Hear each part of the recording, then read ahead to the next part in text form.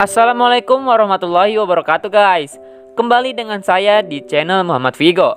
Nah, sesuai dengan apa yang saya katakan di video sebelumnya Saya akan lebih sering untuk mengupload video ke Youtube Dan yang tentunya video tersebut akan bermanfaat untuk kalian. Mulai dari fakta-fakta yang menarik, sejarah, tokusatsu, anime, dan masih banyak informasi lainnya Yang tentunya bermanfaat untuk kalian. Nah, karena tanggal 18 Juli kemarin ada aktor Jepang yang bernama Haruma Miura. Ia merupakan pekerja seni yang begitu dicintai di dalam maupun di luar negeri. Kabar pilu datang dari dunia hiburan Jepang. Dunia hiburan Jepang kemarin gempar karena peristiwa bunuh diri seorang aktor muda yang pasti namanya sudah nggak asing lagi di telinga kalian. Yap, namanya adalah Haruma Miura. Ia salah satu aktor terpopuler di negeri Sakura tersebut telah meninggal dunia pada Sabtu 18 Juli 2020 kemarin. Kabar kematian Haruma Miura mengejutkan banyak pihak. Aktor Jepang 30 tahun ini ditemukan tak bernyawa di rumahnya.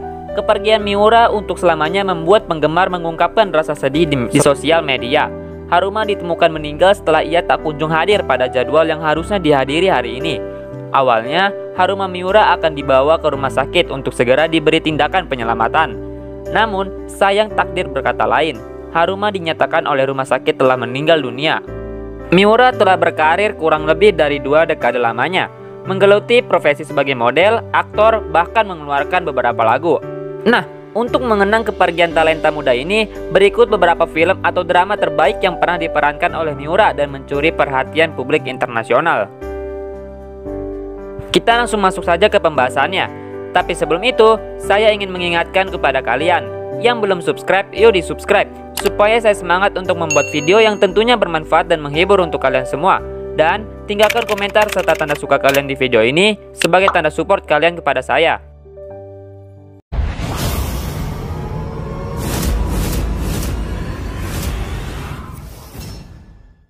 Film yang pertama, Koizora pada tahun 2007. Siapa yang mulai kenal mendiang Haruma Miura karena nonton Koizora? Nah, sebagai film live action adaptasi dari manga yang berjudul sama, Miura pas banget memerankan cowok dingin yang misleading. Kalau kalian belum baca manganya, kalian pasti mengira Hiroki Sakurai fuckboy pada awalnya. Tapi, nyatanya dia lembut dan peduli banget sama pacarnya, Mika Tahara. Di sini, Miura berhasil banget bikin perasaan kalian bolak-balik karena perubahan sikap Hiro yang tiba-tiba. Dari awalnya bucin banget sampai akhirnya Hiro menjauh setelah anaknya dan Mika gugur dalam kandungan. Dan sesuai sama filmnya, memang kalian dibawa buat merasakan perasaan yang campur aduk, bahagia, dongkol karena Hiro kayak fuckboy, hingga sedih mengharu biru di akhirnya. Saya pun gak bisa melupakan betapa dinginnya Hiro, cuma buat menyembunyikan kenyataan bahwa hidupnya enggak lama lagi. Dia mau Mika bahagia dalam hidupnya dan enggak ikut-ikutan tersiksa kayak dia. Miura bisa menyampaikan semua perasaan itu dalam film ini.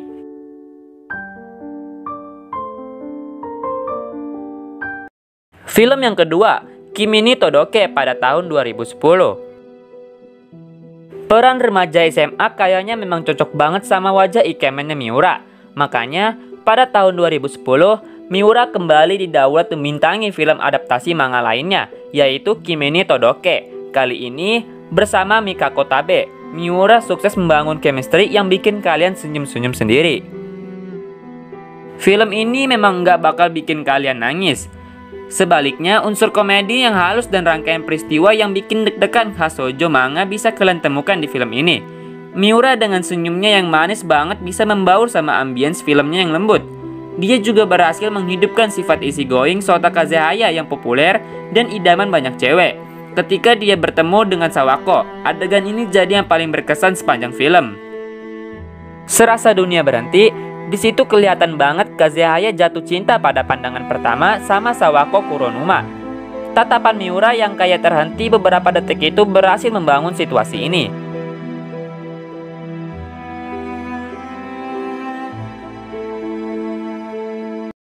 Film yang ketiga, The Eternal Zero pada tahun 2013. Enggak cuma bermain dalam film-film romansa, Miura juga bisa berperan ala detektif dalam The Eternal Zero. Dalam film ini, Miura menjadi seorang cucu yang mencari identitas kakeknya yang sebenarnya merupakan seorang pilot pesawat tempur Zero, pesawat tempur yang digunakan Jepang pada Perang Dunia Kedua. Karena penasaran sama sosok kakeknya, Kentaro Saiki dan Keiko Saiki mencari tahu kenapa kakek mereka rela bergabung dalam pasukan kamikaze. Meski filmnya menuai kritik karena disebut-sebut nggak berdasarkan fakta soal Perang Dunia Kedua dan mengglorifikasi peperangan, Penampilan Miura di sini bikin segar. Sebagai cucu yang berusaha memahami keputusan kakeknya, terlibat dalam pertempuran mematikan di udara, perasaan kalian bakal dibuat campur aduk. Siapa sih yang gak habis pikir kalau tahu kakeknya ternyata rela mati sebagai pilot pesawat tempur setelah sebelumnya selama dari perang yang serupa? Namun, perjalanan Kentaro buat menemukan jawabannya bikin kalian paham bahwa nggak ada perjuangan yang sia-sia. Film yang keempat, Gintama kedua, tahun 2018. Enggak cuma keren dalam drama dan romansa, Miura juga bisa main dalam film aksi komedi loh. Dalam Gintama kedua, Miura memerankan Ito Kamotaro, seorang petinggi Gumi yang akhirnya membelot dan berkhianat. Miura memerankan karakter yang tricky di sini. Soalnya, di balik keseriusannya, Ito menyimpan perasaan yang korosif. Meski dilimpahi kepercayaan sama sang kapten, Isao Kondo, tapi nyatanya itu menyebabkan perpecahan dari dalam. Di sini, kalian bisa lihat betapa ekspresifnya Miura. Dia juga nggak takut jelek dan bisa memasang ekspresi misterius, frustasi, bahagia, dan sedih. Kalian bahkan mungkin nggak mengenali Miura di beberapa adegan saking ekspresifnya dia. Buat adegan pertarungan pun, Miura bisa tampil maksimal. Film yang kelima, A Banana at This Time of Night pada tahun 2018.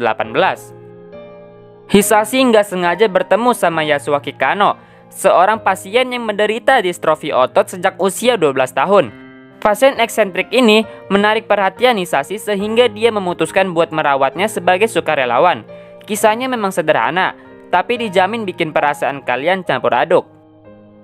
Berhadapan sama aktor senior Yo Oizumi, akting Miura juga nggak kalah hebat. Meski nggak bisa dipungkiri, Oizumi merebut sebagian besar adegan karena memang film ini tentang Kano. Miura sukses memerankan Hisashi Tanaka yang kelihatan banget sepenuh hati merawat Kano. Ada rasa simpati, cinta dan juga benci pada saat yang bersamaan yang dirasakan Miura, Kano dan Misaki. Diadaptasi dari kisah nyata tentang seorang difabel yang dikelilingi sukarelawan yang membantunya. Film ini bikin kalian sadar bahwa menjadi sukarelawan bukan cuma soal membantu orang lain, tapi juga belajar sesuatu dari orang tersebut. Dalam hal ini, Hisashi belajar betapa enggak bernilainya kebebasan, entah untuk bermimpi, mencintai, atau hidup.